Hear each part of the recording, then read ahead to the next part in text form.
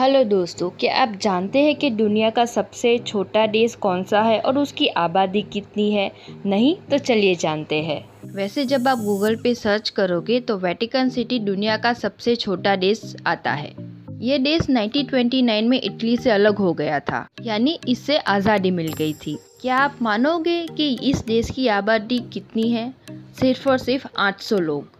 जी हाँ इस देश में सिर्फ़ 800 लोग हैं। इससे छोटे देश की बात करो, वहाँ पे सिर्फ़ सत्ताईस लोग रहते हैं। क्या आप मानोगे? लेकिन ये सच है, क्योंकि उस देश को अंतर्राष्ट्रीय स्थल पर मान्यता ही नहीं मिली इसके लिए। अगर दोस्तों ये देश की बात करूँ तो वो इंग्लैंड से सफोल्क समुद्र से करीब 10 किलोमीटर की दूरी पर है।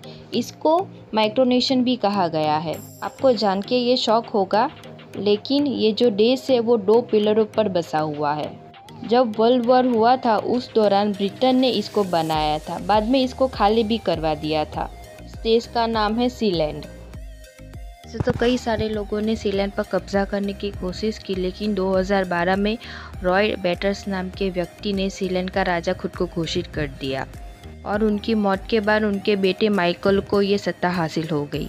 कुछ जान के हैरानी होगी, इस देश के पास खुद का डाक टिकट, पासपोर्ट और करेंसी भी है। और करेंसी पर रॉयस पैटर्स की पत्नी की तस्वीर छपवाई है। देश का अलग से राष्ट्र ध्वज और राष्ट्र गीत भी है और उनके झंडे का रंग लाल, सफ़ेद और काला है। इस देश को अंतर्राष्ट्रीय मान्यता नहीं मिली तो यहाँ पे कोई सुख सुविधा भी नहीं है।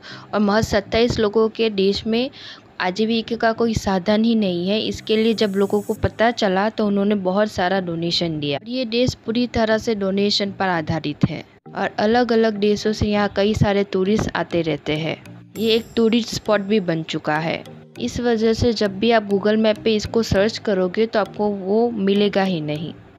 और जब भी आप गूगल पे सर्च करोगे कि दुनिया का सबसे छोटा देश कौन सा है वो वेटिकन सिटी ही बताएगा क्योंकि उसको रा, राष्ट्रीय मान्यता मिली है और श्रीलैंक को नहीं।